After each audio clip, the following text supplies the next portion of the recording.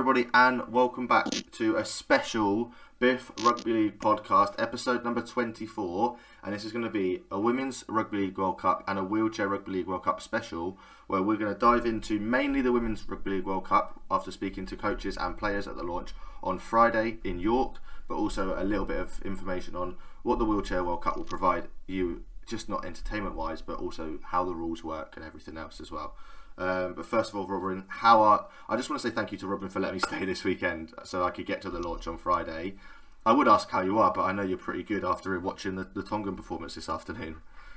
Yeah, you're more than welcome, mate. We had a great time. We went and watched the um, game at Headingley, and then got got a bit bevy in the pub watching the England match. And uh, yeah, and then then I went and saw the Tonga game today, and they, they were amazing. Um, not the biggest crowd in Middlesbrough, but um, a really good stadium. I reckon we'll go there again at one time. But um, yeah, looking forward to this little bonus we've got for everyone, bigging up the uh, the women's and the wheelchair games that um, I'm equally excited for starting.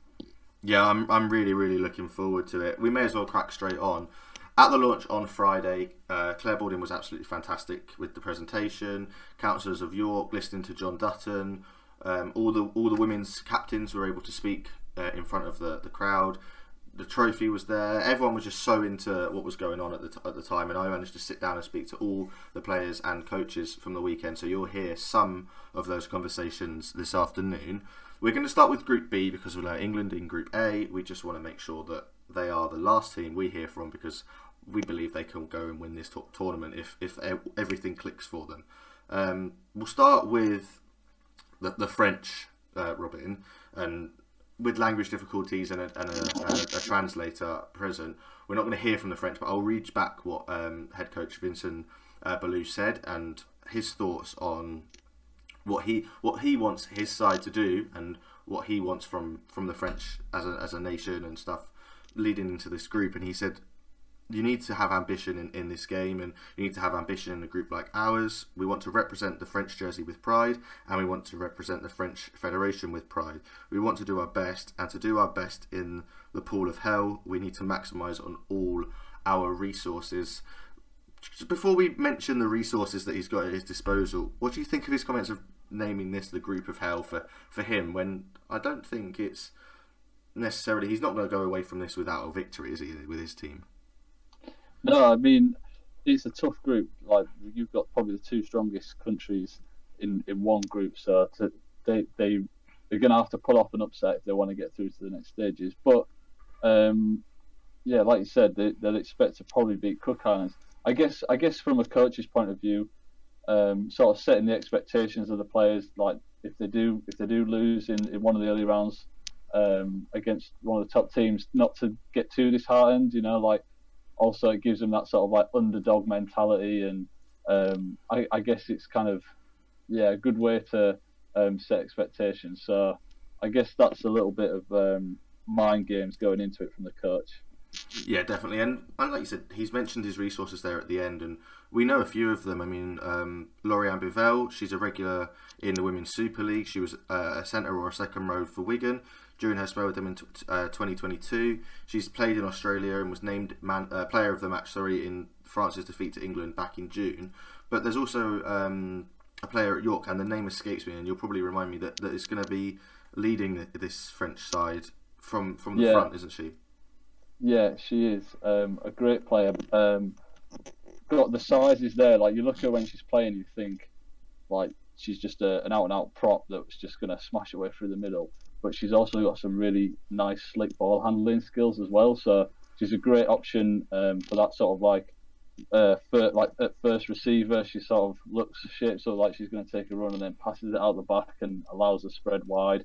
Um, but also, you know, when the ball just sort of like lands at her feet um, out, you know, by chance or there's just that chance at an offload, you can guarantee that um, she'll take it and she'll nail it. So um, I was really impressed when she came over to York uh, this year, and um, I'm, I'm confident they'll be sort of setting up the whole attack around this one player. I guess the, the only concern will be uh, how much game time she gets. There'll be a much stronger side with her, her on the field. They'll maybe just kind of have to manage the um, substitutes to make sure that they cover when she's um, needing to take a break. Yeah, definitely. And like I said, the name escaped me, so I, I did a little quick French Women's Rugby League World Cup squad. Um, Elisa Akpa was the name that I was thinking of, and like I said, when I've seen her play for Wales, it's been absolutely destructive, and I'm really looking forward to seeing how she gets on, and also um, just the whole of the French team in general, having finished fourth back in 2013, they'll be praying they can get to a semi-final again by fin- by shocking one of the, one of the big two. Um, yeah.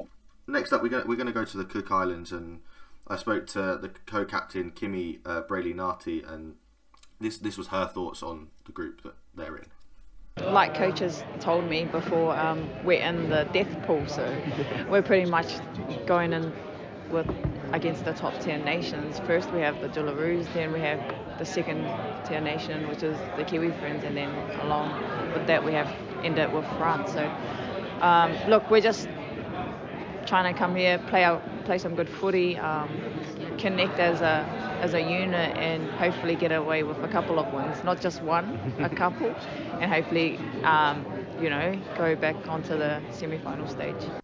Yeah, Robin, um, Kimmy speaking there. What, what do you make of her thoughts on also mentioning the fact that they're they're in a group of hell? Yeah, the death pool. um, for, I mean, for them, it's more it's more realistic, isn't it? They're gonna they're the weakest side in that group, and again, there's probably that they want the underdog badge because it just makes it that little bit easier. It takes the pressure off. Um, but I also sort of like picked up that they're they're like here to enjoy it a little bit more and um, it's a bit more of an experience. You know, these players are coming over to the other side of the world, and, and they just they just want to soak it all in and not not get too um, you know too down if they don't get the result. But like in in a paradoxically, that can sometimes actually lead players to play better when when the shackles are off. There's less pressure. They're enjoying themselves, and they're not so bogged down in, in the results you never know. They might just pick up a win with that kind of an attitude, um, especially if it helps the team to sort of gel over this like shared um, camaraderie. So, um, yeah, let, us see how they go. You know, they are in a death pool, but they've still got some good talent in that team. Yeah, and a couple of players to watch in, in the Cook Island squad, uh, Mackenzie Wiki. If that name sounds familiar to you guys, it's because she is the daughter of the of um, the New Zealand men's great Ruben Wiki. At only 21 years old, Mackenzie is determined to forge her own name in the sport and has ambitions of playing in the NRLW. And obviously, this is a massive um, global stage in order for her to impress. Um, as well as that, there's Shante uh, Kiria Rati who at the age of eight, who only just turned 18 towards the end of the NRLW season, hasn't got a lot of experience about, on her side, but when she's going to play alongside Brayley um, Nati in the halves, she apparently is going to be an absolute world beater and will be a household name in the next three years.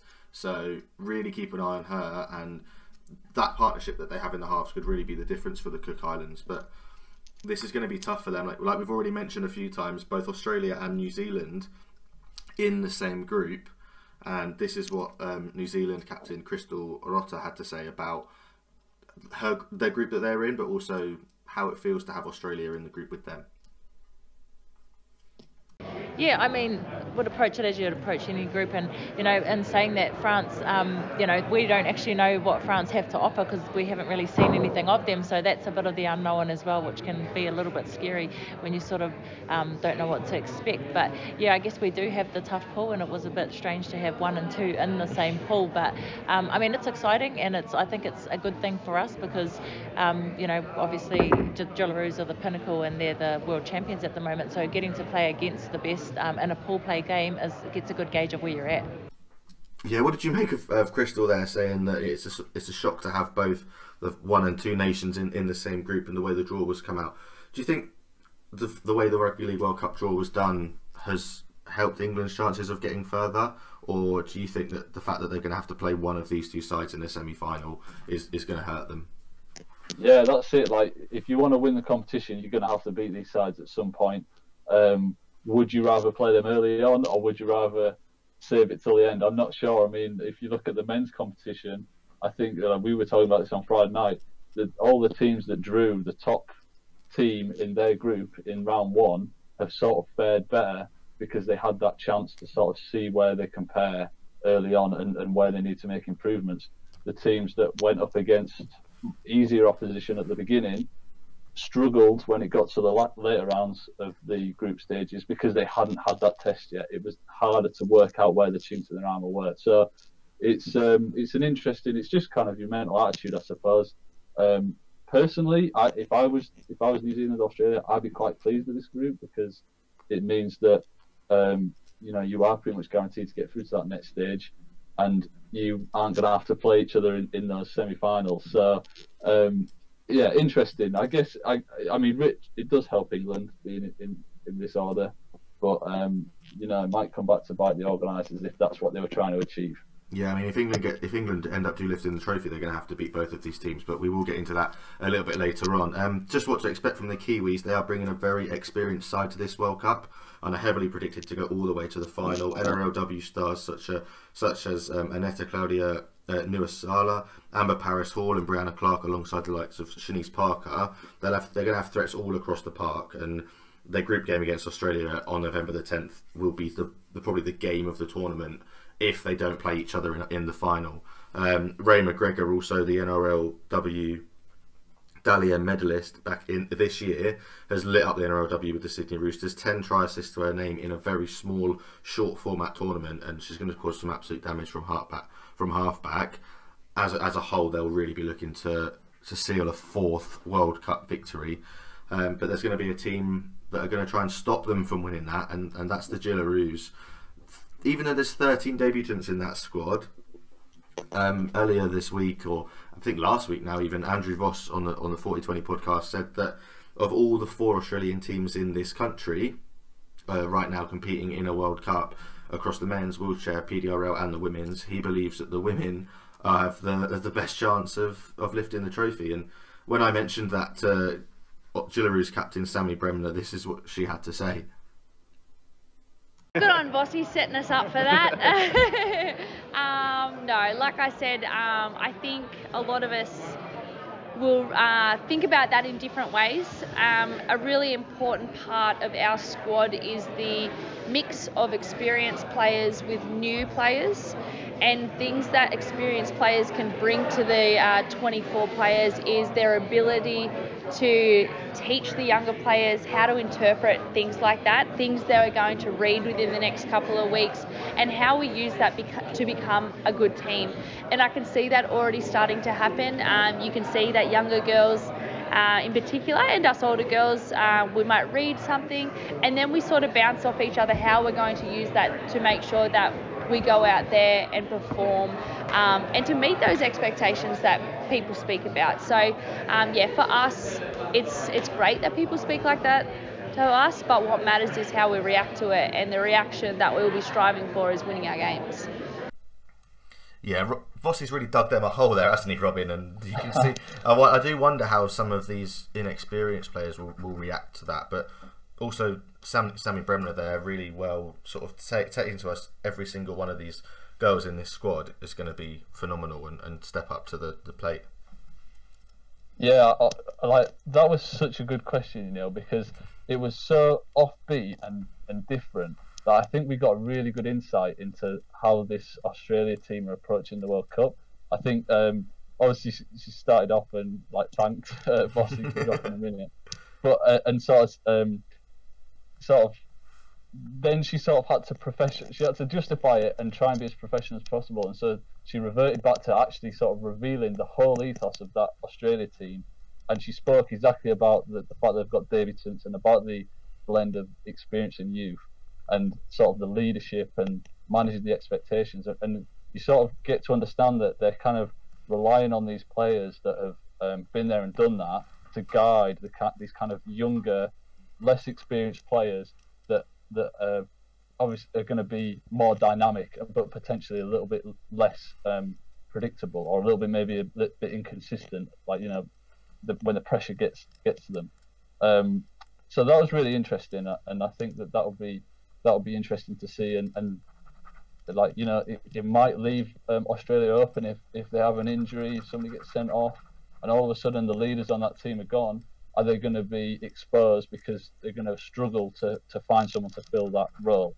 Yeah, Um, yeah, I get exactly what you're saying. Like you said, Yeah. thirteen. We've already said thirteen debutants in a in a squad of twenty two as well. So a couple of bans or an injury or two, they're going to have to see what they can they can call Yeah. up. Um, some names that people will recognise that if they watch the NRLW or have even just heard of the women's game: Ali Brigginshaw, Sam Bremner, Millie Boyle, Kezie Apps, uh, Keeley Davis, Talia uh, Furmayona. They're just a handful of the names, but the main the main one for me is Tarryn Aiken. It's it's difficult to just pick one player, obviously, but uh, the 23 year old is one of the emerging stars of the NRLW.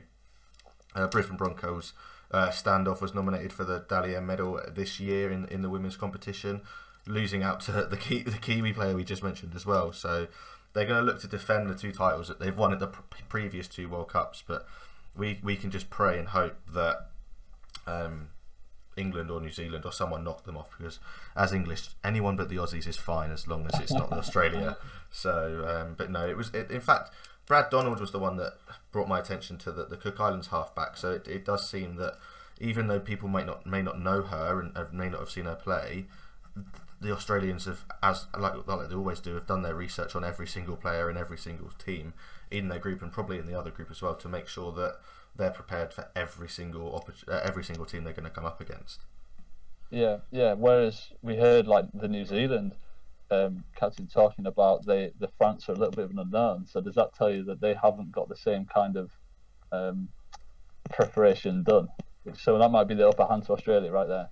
Yeah, exactly. It's going to be it's going to be interesting to see how Australia react to playing France and Cook Islands compared to New Zealand. There's some former New Zealand players playing for the Cook Islands and also for, for Canada as well. So it's interesting. They've, brought, brought an experienced team, but there's players that have stepped down and played for their um, heritage, um, which is which is really really interesting to see the fact that that's happening in the women's game as well. Moving on to Group A, really quickly, um, having wrapped up Group B, obviously it sort of speaks to itself. Other than England standing out, there's so many different stories and so many different ways this group can go, especially when you look at Canada and PNG and Brazil. Like a lot of these teams, not very experienced. Canada have lost to Ireland in the warm up. PNG played the Knights on Thursday night. Brazil have only played, I think, two or three international games as a whole, but drew uh, ran France really close on Thursday night as well. Speaking to Brazil uh, captain um, Maria Graf, she said that the thought of playing in front of a big crowd at Headingley at two o'clock in the afternoon for their first ever game in the World Cup is is a little bit frightening, but they're just so proud of the fact that they can be at this World Cup. Then, and they're not just representing Brazil; they're representing the whole of South America as well. And what do you make of, of this Brazilian sort of the way this because they're all self-funding themselves, and I just think it's a phenomenal story. It reminds me much of the Greece and the Jamaica stories in the Men's World Cup. Yeah, they're they they're sort of the um, they're flying the flag for everyone back home in, in Brazil, and hopefully it'll get get build up some interest. I mean, I'll, I'll be honest, until I heard that Brazil were in this um, World Cup, I had no idea that rugby league was being played over there. I think um, I, I don't know if there's any any rugby league in any of the other South American countries, so. They're, they're representing an entire continent for us in this World Cup, and um, yeah, I, I hope that it goes well for them. I think they've got a, like a similar attitude um, to the Cook Islands, where it's sort of like, let's see if we can pick like pick up a, a lucky win. But like they said, they're not too focused on results, and it's it's more about this putting putting rugby league out there and giving it everything, and, and hopefully trying to, um, you know, earn earn the respect of neutrals and people that think about getting involved in Brazil, which I'm sure they, I'm absolutely sure they will be, and yeah, I'm, I'm looking forward to see it. A bit bit of an unknown, and yeah, it'll be cool. We'll have to see if any of those players end up staying over here and get picked up to play in the Super League. Yeah, I'm going to quickly ask you a, a quiz question. I know you don't know the, necessarily know the answer to this, but Brazil captain Maria Graf has tried her hand at multiple different sports. How many sports do you think she has played, and how many, and and also which sport, which sport do you think is the sport that she played first in her in her life? Well, I mean, rugby league is, is such a in order to be a rugby league player, you need such a wide range of skills. You, you need um, strength, you need stamina, you need skill, um, you need brains. So I could imagine her playing lots of different sports. Um, And the fact you've asked me this question means she didn't start rugby league first. No, no, no, definitely not. No. I'll I'll say I don't I don't know. I'll say four. Oh, so close. Um, she's she's played football, obviously, being from Brazil. She's played she's played rugby union, and she's also played. Oh well, I say played. You don't really play judo. You kind of just fight. Um, she was a Brazilian under eighteen champion in judo, um, and that and that's a, apparently a few of them have, in Brazil, Brazil team know judo, and they'll they'll bring a lot of that into their ta- tackle technique. So they're not going to be Yeah. necessarily a, a non-physical side. You think of Brazil and you think. Uh, so apparently, she also played volleyball as well. She mentioned it in the thing as well. So uh, yeah, so you were right. Four. Yeah, so this is her fourth sport. So yeah, you you were bang on. So just really interesting to hear all the different individual stories. And the thing that I that grabbed my attention most on Friday wasn't the fact that the Brazil were there necessarily. It was obviously autumn time now, and the leaves are on the floor and everything else. But half the Brazilian women were in the in the pile of leaves, throwing them at each other, so that like they'd never seen them before, and taking videos of squirrels and stuff. So they're just really excited to be here, and I'm excited to see them play and make history, just like the Jamaicans and, and the Greeks have done in, in the men's tournament. So I, I can't wait. That's great. That's exactly what the World Cup's all about, and it's great that we have the ability to give those players like a once in a lifetime experience and opportunity. Yeah, definitely. Um, moving on to the, the other team that are going to shock a few teams, and they reached the semi-finals in the previous World Cup as well after after beating PNG, is Canada. And I spoke with um, their coach Mike Castle, and this is what he had to say about the unknown quantities that are in their group. It is a tricky one. Um, we obviously know a little bit about England and, and PNG, and Brazil is obviously uh, a, a bit of an unknown. But they, they're the, uh, I guess, in the same boat that we were at the last World Cup when and nobody knew knew us, and, and we were able to uh, to get a win. So you definitely couldn't can't disregard what they can bring to the tournament. Um, I think we need to, you know, prepare for every game the same, you know, the same focus focus on ourselves and um, and our own improvement. But um, yeah, it's. Uh, PNG is going to be a, you know it's a, a tough challenge to start with, but we're um, you know we think um, we'll have some confidence from our last the last time we played that we we you know we got the players and the ability to to uh, compete with them and, and possibly beat them. So we'll be doing our best there. England are going to be um, one of our biggest challenges as well, and obviously they're going to be up for it being the home nation. So we're really excited for that opportunity to play. Hopefully, what will be a, a big crowd and will be a really exciting experience for the for the players. And then, yeah, and I'm sure Brazil will um, improve week on week and, and game on game. And, and I, know, I know they've got some phenomenal athletes from other sports, and um, yeah, excited to, to see how they progress. So, Robin, what what do you have to make of Mike Castle's comments there and his sort of he, even being a North American side, they've not necessarily been able to look at Brazil, who are, who are their closest rivals in, in the tournament.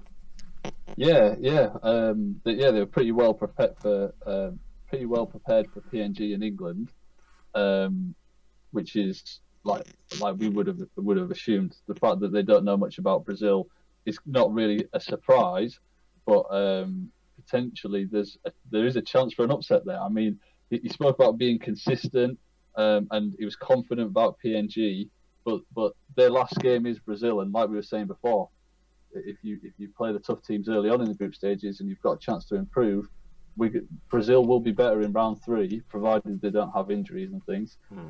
than they will be in round one. And, and Canada's got them in round three, so they've really got to be careful to not drop off or you know rest people or have their eyes on the next round of the competition and um, take this Brazilian side seriously. They, they don't they don't know much about them. They're going to have got better in the weeks that they've seen them. So that'll be that'll be an interesting game to, to watch. Yeah, definitely. And for Canada as well, their player to watch is Laura Mariu, who is probably a household name for a lot of any any Kiwis listening. Um, the standoff is an icon of the New Zealand women's uh, rugby league scene, having represented the Kiwi Ferns in five World Cups. Um, but at the age of 41, she'll be lining up for the Ravens this year due to eligibility through her Canadian mother. Um, obviously, her experience will be absolutely vital for the North American side. Um, moving on to PNG, before we hear from their coach, former uh, Bradford Ball and Wakefield Trinity player Ben Jeffries, I just want to say that when speaking to the Papua New Guinean coaches and the and the players on Friday. It's yes, P, um, rugby league is a national sport in PNG, but women are seen as, as second to men in that country. They're very much seen as not that people don't really realise that they're going out and doing this, and there isn't a lot of support back home. And this is what Ben Jeffries had to say on, on that matter. I think the results, if I'm being really honest, the results will turn heads, and then when results happen, um, expectations come, and then that, everything just flows on from there. Um, but um, hopefully, regardless of what happens on the field, whether they win, lose, or draw, it's how they how they carry themselves on the field. They do they compete and all that sort of thing. Um, as we know, Papua New Guineans, they love the physicality, and that's what we're going to embrace basically that part. And yeah, that was that was Ben Jeffries there, Robin, saying that for for the girls to have to build something with a relationship with fans back home, they're going to have to necessarily put in good performances. And I, I want to, I, I don't want to sort of mull on it and sort of stay on this fact, but it is quite disappointing to hear that from such a big rugby league loving nation. Yeah, I, I kind of hope that you know the sport of rugby league, it's a language that crosses all barriers, and so hopefully there'll be people out there that had will sort of look up and realise what what a, um, a great game this women's rugby league is, and also that women should be second class in society. So hopefully um, they'll be able to see through that, and they'll be able to see a team that um, plays with that that PNG style, the, um, the physicality, the competitiveness, and yes, results do turn heads. But I would I would put Jamaica forward and say, you know, they haven't they haven't got the win, but what a moment that first try was for them. You know, that's definitely um, it's definitely doable without getting wins. Um, I still think they're on for a win, so hopefully that'll pick some up. But I'm excited. I'm, I'm looking forward to seeing this team play. I mean, they're, they're kind of um, the to me, I think they're the second best team in this um, pool. So hopefully, we're going to see them uh, take on either New Zealand or Australia later on, and that'll be a clash. So yeah, go. I, I'm I'm really. I'm, I, another thing. Hopefully, they're over here, and we can give them a proper English welcome. We all love the women's game here, and we can give them a, a great atmosphere and really cheer them on like they deserve to be. Yeah, hundred percent. I really hope that they can make a semi-final and maybe shock a team and one of the other teams in the semi-final, whether it be Australia or New Zealand, and yeah. and make and even make a final. And it'd be absolutely massive because we've seen how well the men's team have played and how well loved the men's team are with with the fans over here because of the style of rugby that they're playing. And we know that this PNG side are going to be physical, and we we need to pray that every single team can deal with it in order to make an absolute cracking fixture against them. Yeah. I was um, last but not least, we, I spoke to Emily Rudge and Craig Richards of England at the launch. Mainly, I, I didn't necessarily speak about how they're preparing for the tournament because I'd asked every other team the same question and the same coaches. But what what I focused on with them is sort of how the development of women's and girls rugby league in this country has made picking this team extremely hard for, for Craig Richards. And one of the things that makes it extremely hard is the fact that there is now an England Knights squad for women and there is an England Community Lions squad for women with a fixture um, coming in the early um, couple, first couple of weeks in December. And this is what Emily Rudge had to say on having three and then also a development squad. So four England squads playing at a very high level in the women's game in this country and, and in the UK as well. I think it's absolutely huge for the sport. I think it's really exciting uh, to be part of that. I think you know the game's come such a long way from when I started, and probably um, you know 10, 12 years back, the England team it was maybe difficult to get an England team together. Um, the you know, and now the fact that we've got sort of three um, teams competing at a high level and representing our country is incredible, and I think it really shows the growth of the game. Yeah, Robin, how exciting is it to see the development of, of the women's of, of the game in, in women's rugby league? Yeah, it really has like um, come on leaps and bounds. I mean, um, over a, a, longer period, um, as as the, as you just explained, over the last decade, it's grown, and they from not being able to have an England team to now having a, a, such a great side that we've also got um, England Knights to back them up. Um, I just recently, in, in, more in my experience, I think that the uh, women's Super League has been fantastic. I think that it's really boosted the profile of the players over here, and it's getting to that, that point where it's like providing really um, regular competitive games for players, which is, is really great for the international side because you know players are um, testing themselves week in week out. Um, and from a, a, personal point of view, in just in the city of York, it's it's grown loads, and um, we've just had a team renamed, and um, they seem to be um, well, they are more successful than the men's, and they seem they're starting to get like an equal kind of um, platform here. So yeah, I, am I'm, I'm really pleased to see how the women's games grown. I, am someone that's um, recently got into it, and I'm hooked. I, I really enjoy it, and um, hoping that England can do as proud in this World Cup. Yeah, and speaking of the York women's team, one of the key players to watch for England is, is Tara Jane Stanley, a goal kicking fullback, the reigning women of steel, led York to a grand final victory. How important is she going to be for, for Craig Richards' side? Yeah, she's she can do everything, can't she? Um, I'm really really excited to see how um, she matches up against these NRLW players. Obviously later on in the competition, but um, she's going to be really important. I think um, I think just all round, there's so many great players, but I do think we've got um, quite quite a lot of youngsters in this team. So it'll be um, similar situation to Australia where we need players like Jodie Cunningham, um, who's got a bit more of that experience to sort of uh, lead these youngsters that that haven't um, been in this position before, come up against these um, NRLW players before.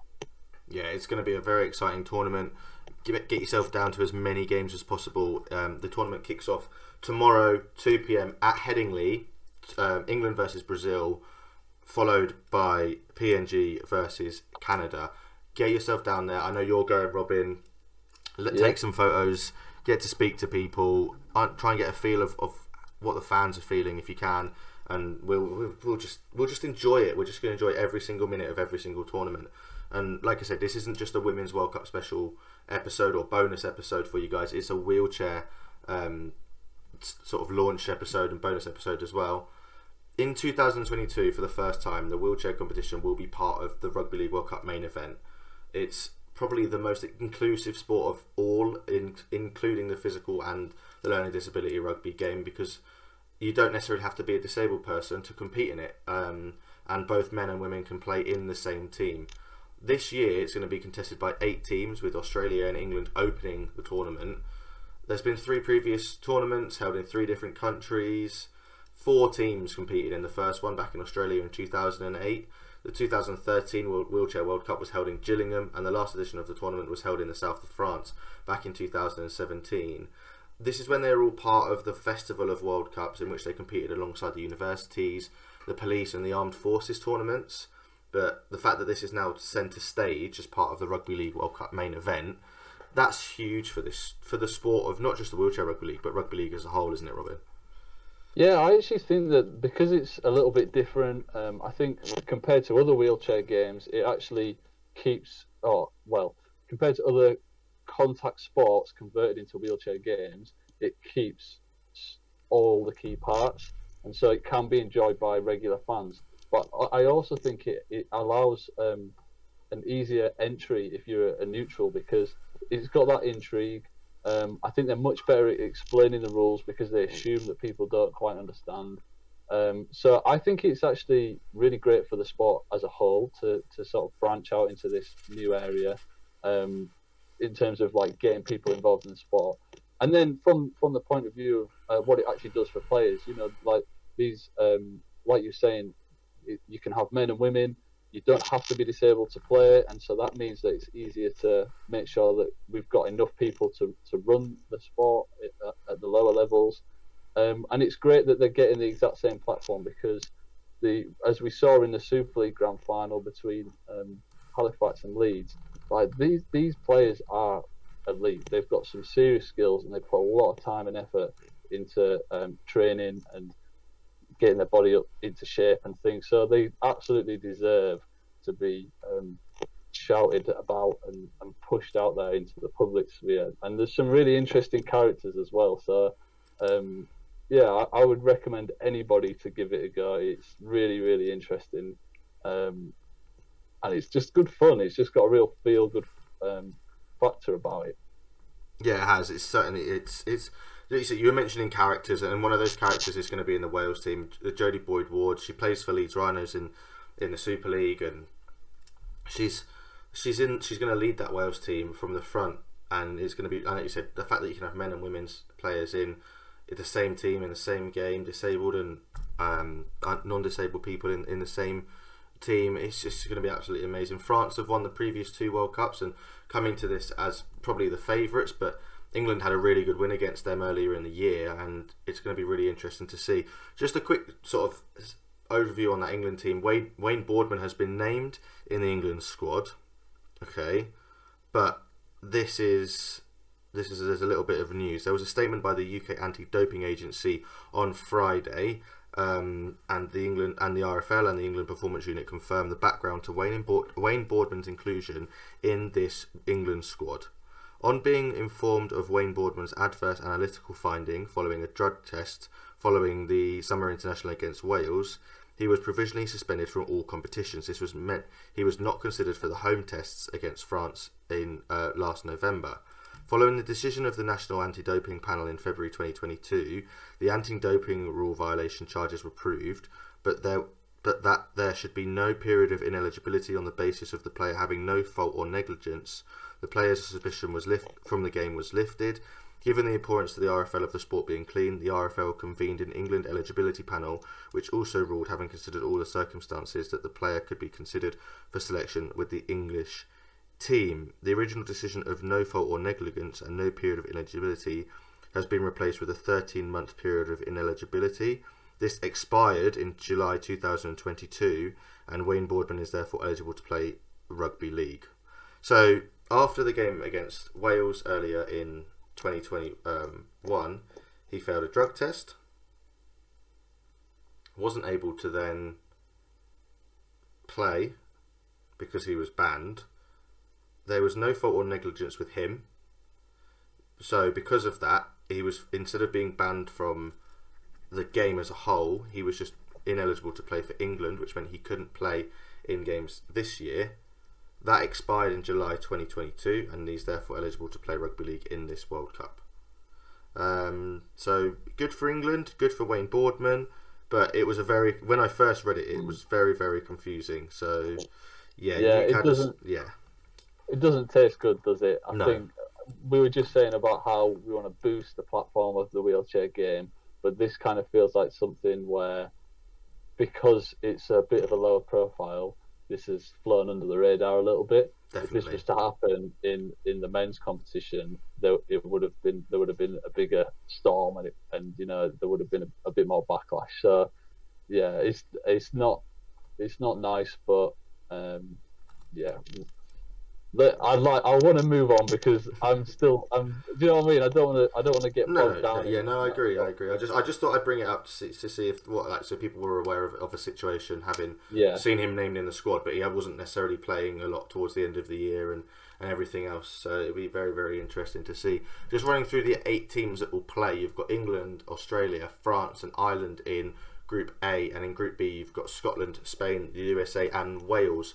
For those of you thinking, I thought Norway were going to be in this Rugby League World Cup, unfortunately, they have been replaced by Ireland um, due to the wheelchair team being unable to play or carry out any meaningful matches in, in preparation for this um, Rugby League World Cup.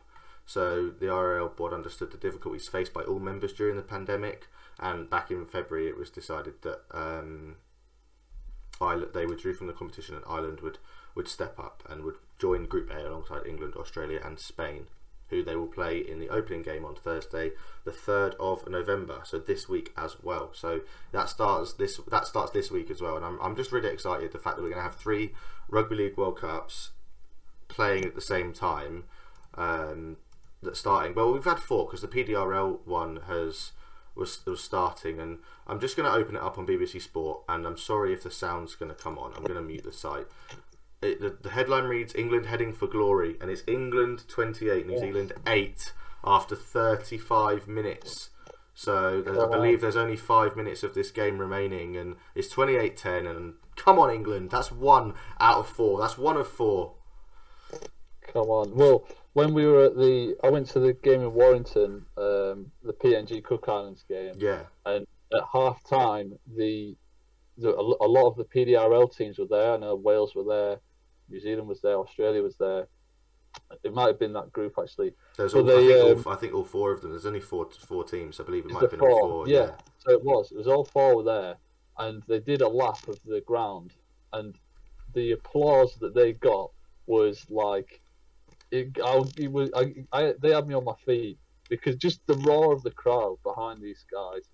Um, I think it's great. I think that it's come on leaps and bounds, and I think we've got to thank um, Adam Hills for that. He's 100%. really boosted the, the, the profile of it, and um, yeah, it's it's just really good. And what, what a result for England if we can um, bag a bag a win and you know defeat all these rivals. We're, we're flying the flag for the PDRL um, cause. Yeah, it's, I love it's, It's, it's absolutely fantastic. So nine, nine aside, uh, a minimum of seven players on the field at all time, with obviously with injuries and sim and, and everything else like that. Uh, I'm just trying to see how long. Yeah, two 25 minute halves. So there's still there's still 30 minutes of this game to go, but England 28-10 ahead, and really looking forward to seeing that. And I, and I was about to say, Adam Hills, as well as playing in this World Cup, he has been an absolute wonderful ambassador for all of the tournaments, and that we're going to get to a stage where we're going to get the learning disability rugby league potentially at the same time, and it's going to be it's going to just really be phenomenal to see loads of tournaments. I'm just really excited, and I'm really glad that there's there's just everything happening going on. Yeah, it feels really good, doesn't it? I, I think there's as rugby league fans, um, it's so easy to, to watch all these different versions. They're all tweaked slightly to, to suit the needs of each, um, like you know, each requirements. You know, whether it's indoors and wheelchairs five aside, whether you've got the nine aside PDRL with certain players wearing different coloured shorts and things like that. And you even think about like um, touch rugby league and nine aside rugby league, and it's like it doesn't matter which one it is, it's still rugby league, and the, and it it's the best sport in the world for me, and it's there's something about it that's just it's the ultimate contest. And what I love is that all these different versions still manage to capture that. You still you still feel like you're you're watching this contest. Yeah, hundred So- percent. To have them all on at the same time, be given the same platform, they're all on the BBC. Um, I would encourage anyone to try and get to any of these games. Um, I, I've I've booked as much as I can. Um, yeah, people, I'm here. I'm seeing loads of negativity about crowd attendances and stuff, but honestly, the organisers have put on a good event. It feels like a really good atmosphere. It's like a festival feel to all of the things that I've been to, and I think that that I hope that that carries on and continues for the other ones. I mean, I can imagine the wheelchair. I've never been to a game, but with it being indoors, I can imagine the atmosphere there is pretty intense because I bet that just traps it in there. You know, you've got those like hard floors, hard walls to bounce the sound off. Um, you, you're much closer to the players. Like that's going to be really intense.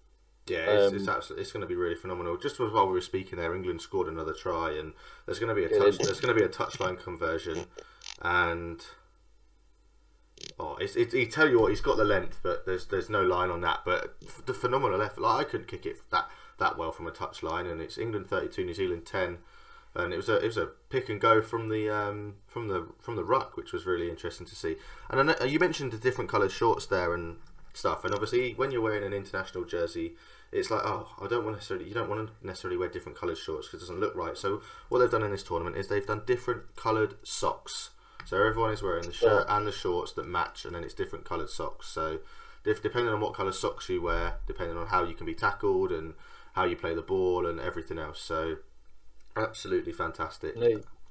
So, got yeah. wear pulled up there. Oh, uh, yeah, you can't. Oh no, there's a couple out there. I won't mention names, but they some of them have got them down their ankles. But then again, they've got ten minutes of this game left, so some of them might have played all forty minutes, so they might be pretty tired. So yeah, no, there's, I mean, there's three in a tackle here. They're absolutely battering each other, so it, it's phenomenal. Um, before we end the, the special, I just want to say a massive thank you to, to Joey Manu, um, the New Zealand fullback. I met him uh, yesterday morning in York after I just had a brunch, um, and me and Robin had had quite a heavy night in York the night before, and I was really hungover. So um, I just want to thank him for spending his time to have a little chat and take a photo with me as well. Really nice. Um, Robin, thank you very much for joining me this Sunday evening. Um, it's going to be Monday night when you guys listen to this, which is why I said yesterday for the for the for the opening game of the Women's World Cup. Um, I, I'm just really looking forward to everything. So, and also for those that are, are listening tonight, if it's out before the Wales game, I'm Welsh tonight.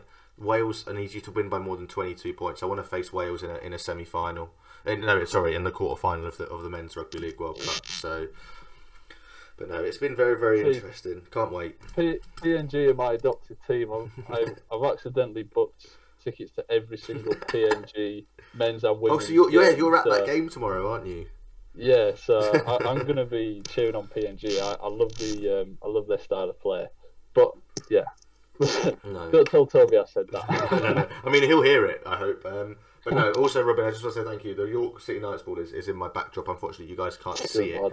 Um, hopefully next year when we, we come to do it, you'll be able to see that in in the um, in the backdrop. But no, this has been our women's rugby league and wheelchair rugby league World Cup bonus episode for you all. Um, Robin, thank you very much for joining me. We've been the Biff and brought to you by Swinging Arms and Shoulder Charges. And we'll h- listen and we'll hear from you all on Thursday for our 25th episode of, of the podcast. So thank you very much for all those that listen. Don't forget to like, share, comment, subscribe. Just whatever you want to do with the podcast, do with it so long as you listen. Um, as England score again in the 43rd minute, and he's cheekily giving it to a teammate as after the try line there. And oh, the referee's not giving it. He's giving it. Oh, that's that's cruel. What a horrible referee. Give him the ball. Oh, oh, hold on. He's given a penalty to England now. The Kiwi bloke has barged off into him off the ball there. Oh, this is getting a bit feisty towards the end.